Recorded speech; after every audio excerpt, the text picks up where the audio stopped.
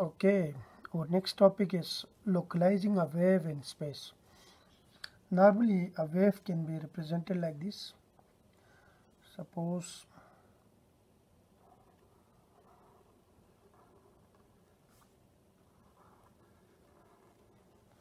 this is a wave such that we have this is the x-axis. Okay and this is the y-axis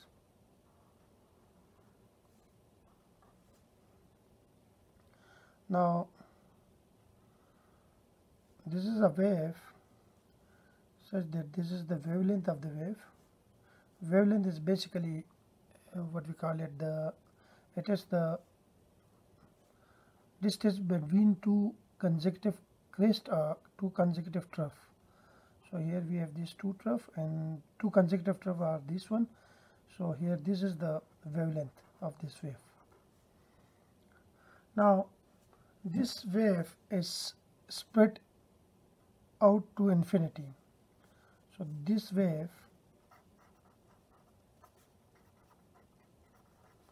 is spread out to infinity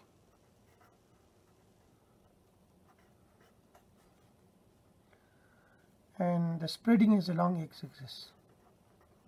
Spread it spread out to infinity along x-axis. Because this wave is spread in in this way also also it, it is spread in this way. But here I draw just a small portion of this wave. Now if we use this wave because we already mentioned in de Broglie hypothesis that a, particle can be in de Broglie hypothesis we already explained that a particle can be a particle can be represented by a wave.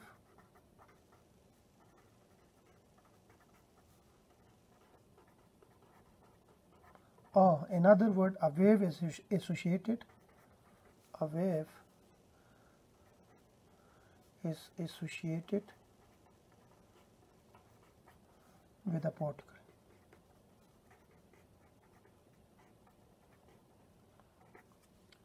So if we represent this wave, if if we use this wave to represent a particle, then then it is difficult to identify, the exact position of the particle in this wave. So from this we can say that the exact position of the particle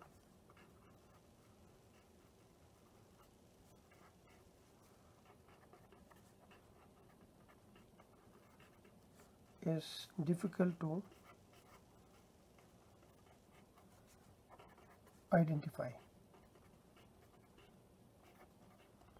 And the reason is because we have the amplitude of the wave is constant everywhere. So it means that the particle can be found everywhere. If if I have a situation like this, let's suppose we have a wave which is like this.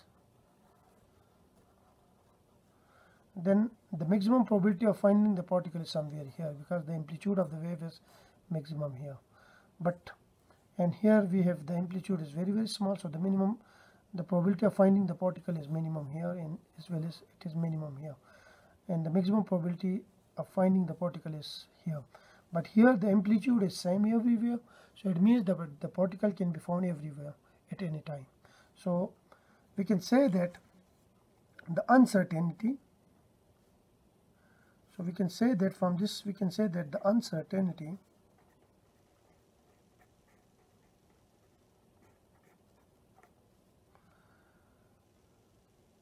delta x which I represent by delta x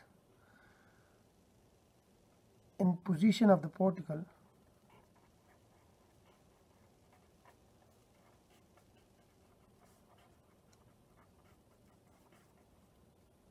along x-axis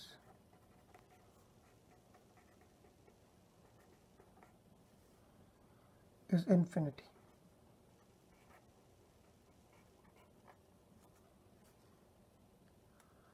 So we cannot exactly identify the particle at a particular point. So it means that this uncertainty in position of the particle is infinity. So the particle can be found everywhere. Now, now, so the particle here I can say that the particle can be found found everywhere.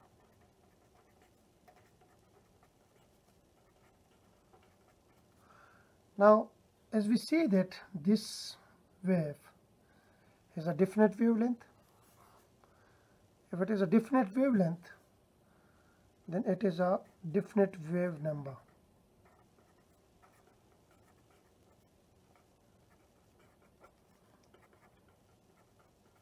Wave number k because k is equal to 2 pi over lambda.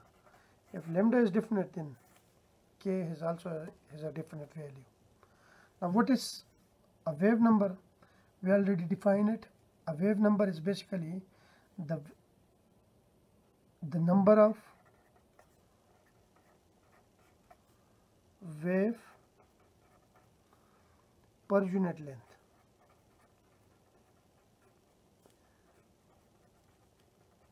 It's called wave number. So if lambda is definite, it is a specific value, then this wave is also is a definite value. Now if we assign, if we assign a direction to the wave number,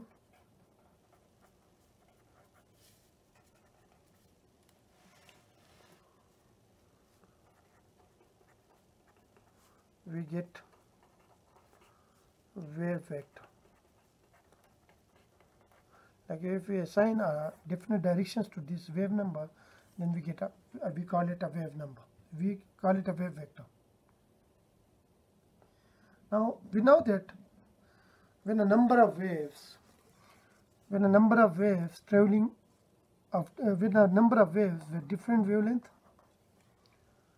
uh, frequency amplitude and wavelength moving in the same directions then what will happen these waves interfere with each other and the interference is either is either a constructive interference or it's a destructive interference. So the interference is either constructive or destructive interference. Now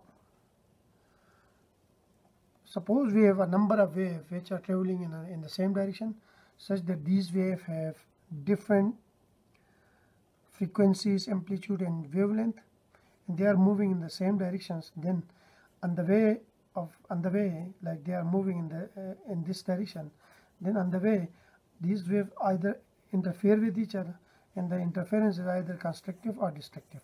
Suppose that these waves interfere destructively everywhere except at a specific region. So I can write the region here. Suppose we have this space, okay, and this space we have different waves which are moving such that these waves has have different frequencies and amplitude, uh, wavelength, then they interfere on their way. So the interference is either constructive or destructive. Suppose that in this region like in this region I have destructive interference in this region I have also destructive interference. But the wave only interfere here in this region constructively. So in this region once they interfere destructively then the waves disappear here also the waves they disappear here. So here we have the destructive interference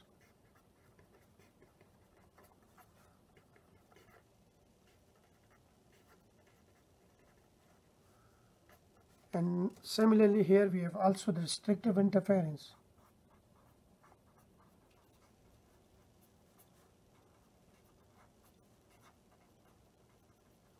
but this is the only region where we have the constructive interference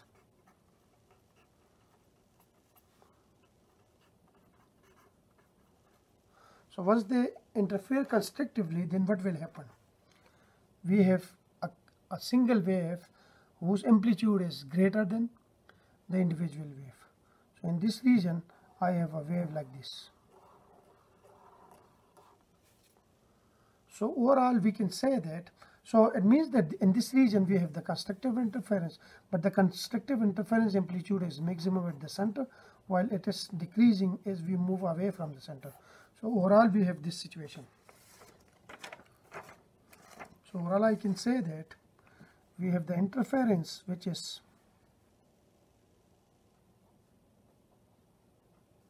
in this region I have the maximum amplitude while away from this region I have the amplitude which is getting smaller. So this is the region of uh, this is the region where the amplitude of the wave is maximum while here we have the amplitude which is getting decreasing and finally in this region we have zero amplitude and similarly in this region we have zero amplitude or the wave disappear here. So this is the region of interference. And here we have constructive interference and this is the region of destructive interference. So here we have let's suppose we have this maximum amplitude occur at k naught. And on this side I have the half k naught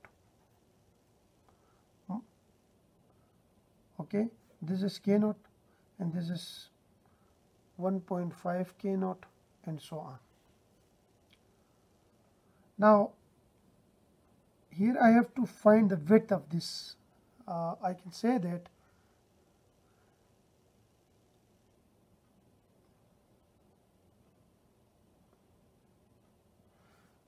I can say that this is the width. I represent this width by delta k. Now, since we have this wave, so this wave basically represent a particle. Now, I have many many waves which are traveling in the same direction, and on their way they get interfere with each other. Somewhere they interfere constructively, and somewhere they interfere destructively. So in this region I have the destructive interference. In this region I have also the destructive interference. Here I have only the constructive interference. So the constructive interference magnitude is maximum here and it's also getting smaller and smaller as we move away from this side or if, if we move away from this side. So it means that the maximum probability of finding the particle is maximum now in this region and it's the probability is getting smaller and smaller as we move away from this side and the probability is getting smaller and smaller if we move away from this side. So the maximum probability is here in this encircle region while the minimum probability is here and the minimum probability is here. So it means that now this is my delta x. Now if I increase, if I increase delta x like this region then what will happen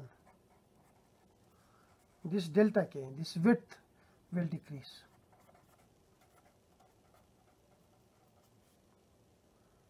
so if I increase my this wave here so what will happen this delta k getting smaller and smaller so the probability of getting the particle is decreasing here so what it means it means that this maximum region of finding the probability of particle is getting smaller and smaller. So it means that the probability of finding the particle is getting bigger here it is getting bigger in this side.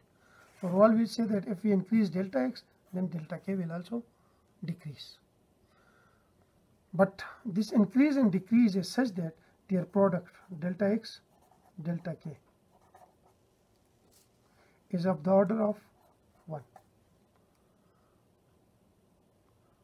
Uh, I can say that if I multiply this delta x with this delta ki, then I get 1. What it means? It means that the product of these two will give us uh, the region, uh, the product of these two will give us a region where the probability of finding the particle is maximum. Maximum means 100%. Or we can say that its probability of finding the particle is 1. So this is what we call it the localize, localize, call it the localizing wave in space. So the idea behind this is suppose we have this wave and I suppose that this wave represent a particle. Now the, the, the probability of finding the particle is uh, infinite. I, I means that the particle can be found everywhere because the amplitude of the wave is similar same everywhere. So it means that the particle can be found here, the particle can be found here, the particle can be found here, and the particle can be found everywhere, and the probability is same everywhere. But if we have a number of waves which has a different wavelength or different frequency or different amplitude, they are moving in the same direction, then on their movement, or once they are moving in the same direction, then they on their way, they either they interfere. So the interference is either constructive or destructive. Now, somewhere the wave interfere destructively and somewhere they interfere constructively. So this is the region of destructive interference. This is also the region of destructive interference, but this is the region of constructive interference. Now this is the region of constructive interference. So it means that the wave obtained here has a amplitude which will be greater than the wave, which will be greater than the amplitude of the individual wave. So I have this region, this is the region of constructive interference. So the wave basically looks like this. So here in this region, the amplitude of the wave is maximum. So the maximum probability of finding the particle is here in this region. While the probability is getting smaller and smaller in this way or it's getting smaller and smaller in this way. But beyond this point, the probability becomes zero. And also here it's become zero. So we have the particle is now confined to this region. The particle is now the particle is now the maximum probability of the finding the maximum probability of finding the particle is now bound to this region. Now here I, I represent this width of this wave as by delta k and this whole width by delta x. Now if I increase my this delta x, what will happen? This delta k will be get smaller. But their relation is such that their product delta x times delta k is always uh, is of the order of 1. What it means? It means that if we increase delta x, delta k will decrease. So what it means? If delta k decrease, then the probability of finding the particle is now getting bigger to this side and getting bigger also to this side. And it's getting smaller here. But overall, the particle is still here. So it means that the product of this delta x will delta k will give us a value which is 1. By 1 I means 100%. What it means? It means that the probability of finding the particle in this region is maximum. Maximum means the the probability the particle will surely be will be in this region. So the probability of finding the particle is 100% here because the particle cannot found here or it can't found here. So the particle is only appeared in this region or it's occupy only this region. So the the the product of these two quantities delta x into delta k will always give us a value which is 1 a 100 percent so this will give us the maximum probability. Uh, we can say that the probability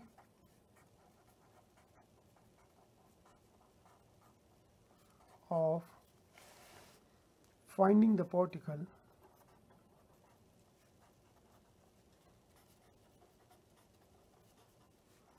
is finding the particle in the region and the region is defined like by this one delta x is 100 percent.